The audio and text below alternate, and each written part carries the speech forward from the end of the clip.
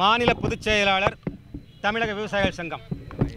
இன்று ஒரு விவசாயிக்கு நடந்த பிரச்சனைக்காக ஆபத்து போராடவில்லை.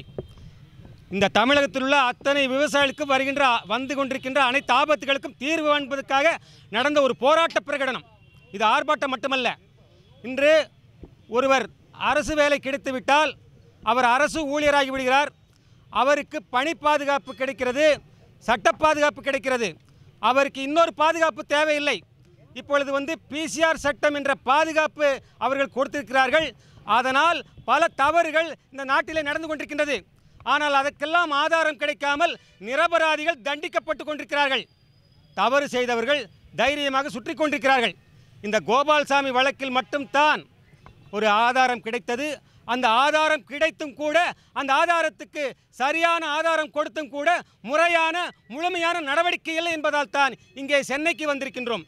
கோயம்புத்தூர் மாவட்ட ஆட்சியர் காவல்துறை அதிகாரிகள் வருவாய்த்துறை அதிகாரிகள் அத்தனை பேரிடம் சென்று முறையிட்டும் எங்களுக்கு நியாயம் கிடைக்கவில்லை என்று தான் த- இந்த தமிழக த தலைநகர் சென்னைக்கு வந்திருக்கின்றோம்.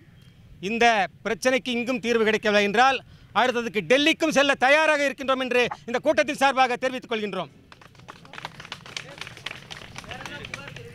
இங்கே வந்து பிசிஆர் சட்டத்தை வந்து அஹ், ப- பயன்படுத்தக்கூடாது. அவருக்கு ஏற்கனவே பா பாதுகாப்பு இருக்குது.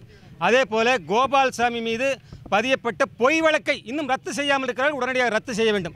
அதே போல் இந்த மாதிரி தவறுகள் இந்த விவசாயிகளுக்கு இழைக்கப்படுகிற அநீதிகள் எதிர்காலத்தில் நடக்கக்கூடாது என்றால் இந்த மாதிரி தவறுகள் அதிகாரிகள் செய்யக்கூடாது என்றால் இந்த இந்த தவறுகளை முறைப்படி சட்டப்படி நடவடிக்கை எடுத்து அவர்களை சிறையில் அடைக்க வேண்டும். நிரந்தர பணி நீக்கம் செய்ய வேண்டும். அதை இன்னும் செய்யாமல் இருக்கிறார்கள் என்பதற்காக தான் இந்த போராட்டம்.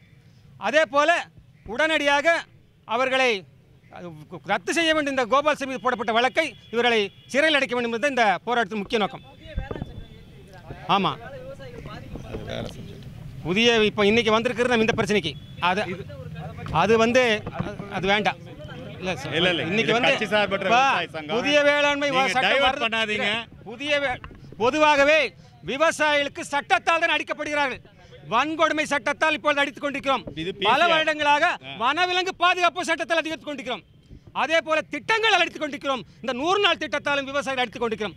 ஆகவே வந்து இது இன்னைக்கு வந்த சட்டம் நான் பழைய சட்டத்தையே இன்னும் போராடிட்டு இருக்கிறோம் அதுக்கே இன்னும் தீர்வு கிடைக்கல. அதுக்குள்ள வந்து இந்த சட்டத்தை பற்றி கேட்குறீங்க எங்களுக்கு இந்த பிரச்சனைக்கு தீர்வு கிடைக்க வேண்டும். இல்லை என்றால் அடுத்த கட்டம் டெல்லியை நோக்கி போராடும் என்று தெரிவித்து தெரிவித்துக் கொள்கின்றோம்.